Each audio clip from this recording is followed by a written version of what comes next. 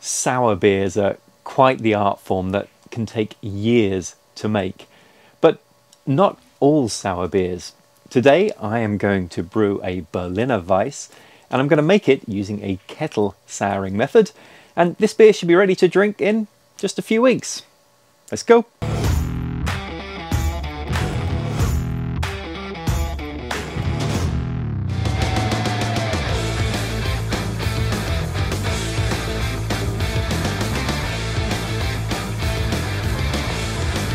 Thank you for joining me. My name is Martin Keane. I'm taking the Homebrew Challenge to brew 99 beers in 99 weeks, and I have reached the sours category, a category that I'm looking forward to brewing uh, just with a little bit of trepidation I've never made a, a sour beer before.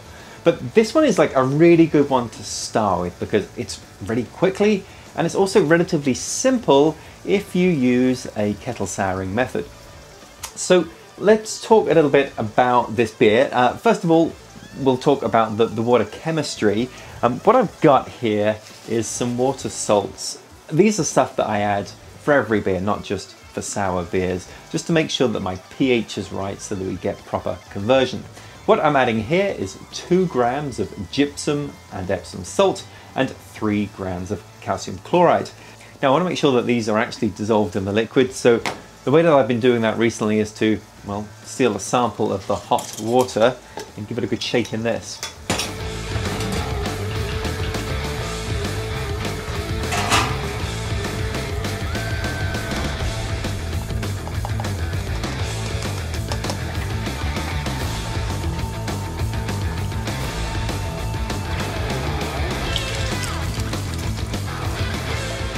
Also going to be adding some lactic acid. I'm going to add three milliliters of lactic acid to get down to a pH of, I'm hoping, about 5.3 for the mash.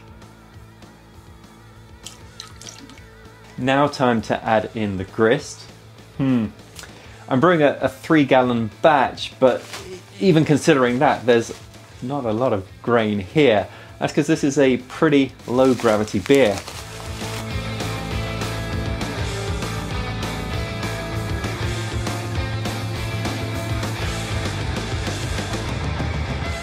And I'll be mashing this one at 150 Fahrenheit or 66 Celsius. And because I've got some wheat malt in here, I am going to add just a touch of rice hulls. Don't need to really measure these out. These are not going to contribute anything to the gravity of the beer, but they should ensure that we have a good, clean flow through the mash, nothing gets stuck and so forth. All right, let it mash.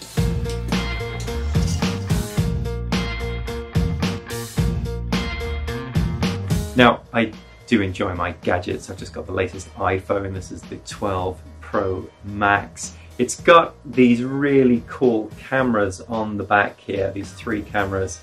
And uh, normally I just use my fancy mirrorless cameras. I have three GH5 cameras that I use for filming these videos.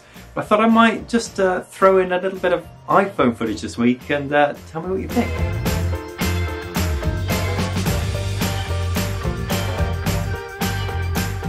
So what should we expect from a Berliner Weiss? Well, we're certainly going to get a bit of sourness, a bit of tartness, a bit of lactic or even citrusy sourness to this beer. And it's combined with a, a bready malt backbone and a really light and fluffy mouthfeel. In terms of gravity, this is a very low gravity beer. We're looking at an ABV between 2.8% and 3.8%. The ingredients are wonderfully simple. It's simply 50% German Pilsner malt and 50% pale wheat malt. And my beer is going to aim for an original gravity of 1030. Okay, I got to my pre-boil gravity of 1025. It took about 45 minutes. Uh, so now I'm going to take out the grains and then I'm going to bring this to a boil just for about 10 minutes.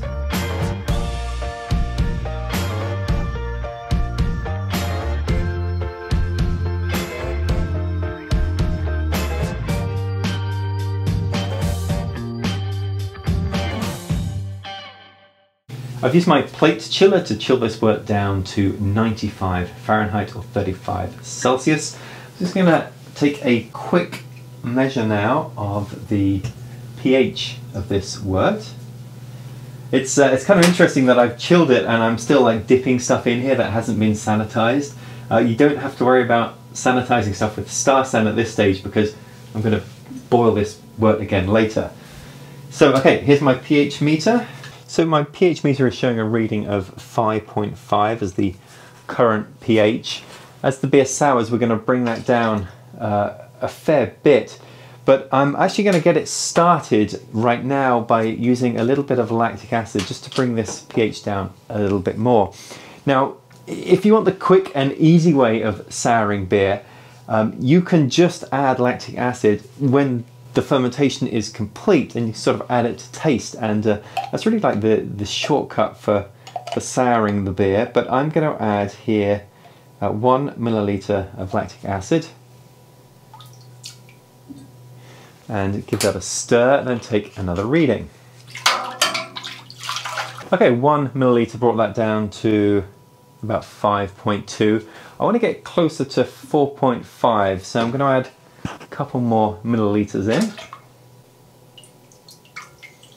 I'm at 4.6, that is absolutely close enough. So now we'll move on to the souring part. Now I have what might look to the casual observer like a, a packet of Wyeast yeast, but no, this is actually Lactobacillus, which I am going to add in now into my wort. Okay, just give that a quick stir. Now, Lactobacillus works best warm and I'm going to keep this wort at 95 degrees. Fortunately for me, the brewing system that I'm using makes that very easy. I can just set the temperature here and the heating element will cycle on and off to keep me at 95 degrees. So I'm going to pop the top on and the last thing I'm going to do is seal this port here because I don't want any oxygen getting in. Okay, and I shall leave this to sour for a day or so.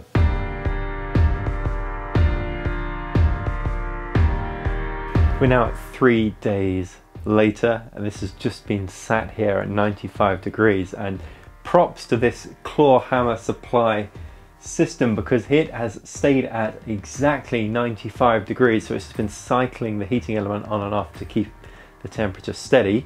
Uh, so now let's take a reading of the pH.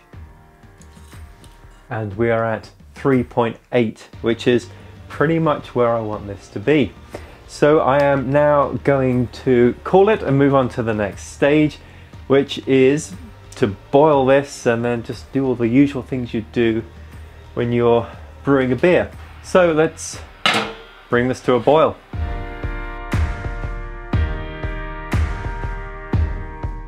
Looks like we're approaching a boil now. So by boiling this wort a second time, I'm now putting to an end the kettle souring phase. So the beer is not going to continue to sour. Uh, it also means everything's going to get sanitized, of course, because it's a boil. And it's my opportunity to add in some hops. Now, a Berliner Weiss is not by any stretch of the imagination a hoppy beer. Uh, this is going to have about 8 IBU of bitterness, all of which are coming from this hop addition, which is Tettnang, and I'm adding this in at the start of my 15 minute boil. Okay, in they go.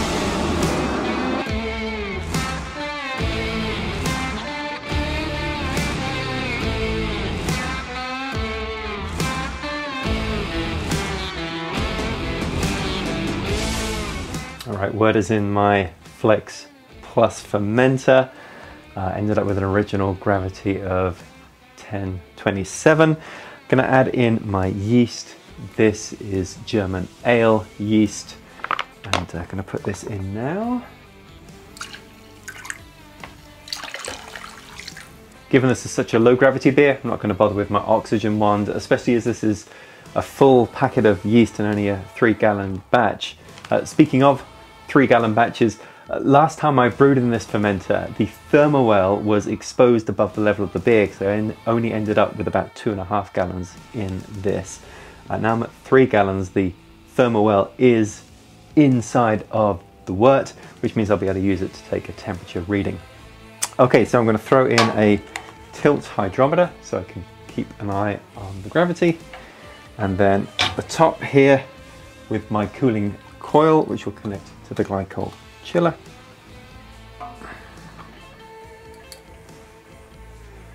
All right, that is now a sealed unit.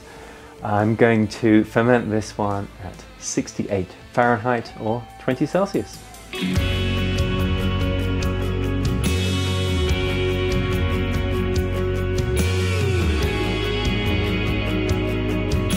Are you ready to try my firstest ever sour beer? Firstest. Mm. Um, yes, actually, I am quite excited because I've recently been drinking a lot more sours and kind of getting the taste for them.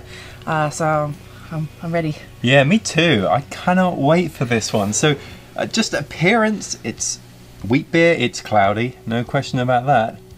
Looks like a um, like a freshly squeezed lemonade or something. I think it looks like a summer shandy. A, yeah, it does. It it's does. Very light and inviting looking. Yeah, yeah, yeah. It's cloudy but very inviting mm -hmm. looking. That does look like it's going to be delicious. Okay, let's see what we get with the smell. It's very, very subtle, but there is definitely a citrusy or some sort of undernote there. Mm. Like I really have to like stick my nose in there to smell yeah. it.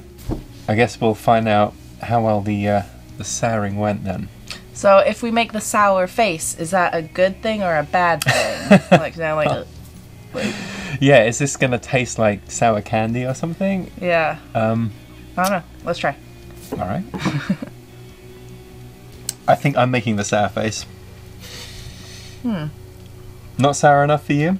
Mm. Like the sour hits you to start with, but then it dissipates real quick. I can feel it on my tongue straight away as soon as you take a sip.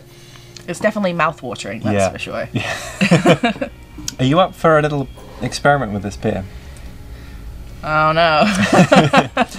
the way that you can sour this beer further is you can actually add lactic acid now, now the beer is finished, to taste to get it to the sourness you want. And you're saying it's not quite sour enough. What did I do? Yeah, so I think it's time that we we crack out the lactic acid. Okay.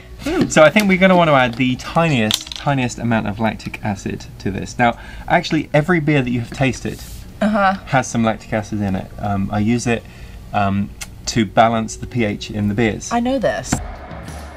You you I were adding this, lactic okay. acid into your beer. That's right. So we're just going to add a little bit. So I'm going to give this to you. You might add like a few milliliters to a whole keg. So you're definitely going to want to just put a drop in. Oh, these things look quite difficult. Here, can I on my spoon? Yeah, good idea. Okay, there we go. Good? Yep. Okay, here. All right. Wait, you're not doing it? All right, let's see how yours turns out. That's not fair. Okay, we've restored the head on the beer, so yeah. it's looking good. Okay. Mm, smells the same. There's a little bit more soury, more of a pucker to it. Can I do some more? Mm. okay. All right. So yeah. Okay, that might be a lot. Yeah, it's a lot more soury. That's good though. Put, put some in yours. You know, you know how like you go to a coffee shop and they'll bring you a coffee and then maybe there's on the table there's cream and sugar. It's like, like, do you think they're, they're going to be breweries now? And you just go to the table and there's like some lactic acid in a syringe. Like, have had maybe. it. Hmm. That's kind of cool though, because you can create your own like sourness of a beer. Oh, that's so much more sour now. Oh, that's really good.